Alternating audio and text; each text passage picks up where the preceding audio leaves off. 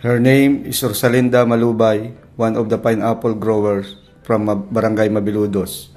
Before, she was among the poorest family, with primary source of income focuses on agriculture. But when she was awarded by Agrarian Reform Program with a 2.2 hectares, things started to change. She was encouraged to plant pineapples, but she had no money to buy the plants and fertilizer. Hence, she decided to join the Farmers Cooperative as a member.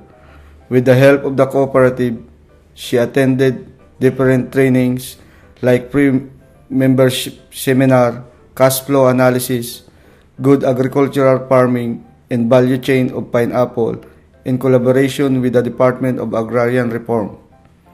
Through this, she was able to access a cash loan to support her in farm activities, wherein she was also provided with technical assistance by the agricultural technician of the cooperative, including the weekly monitoring of her project. She is now an accredited farmer in good agricultural practices, a technical protocol and guidelines about pineapple production.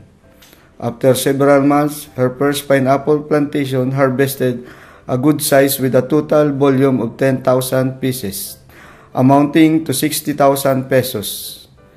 As additional income, the small fruits and the leaves were sold to cooperative for juice processing and fiber making. Thus, she was able to pay her debt and generate her own capital. Now, she is productive pineapple grower which improved her living.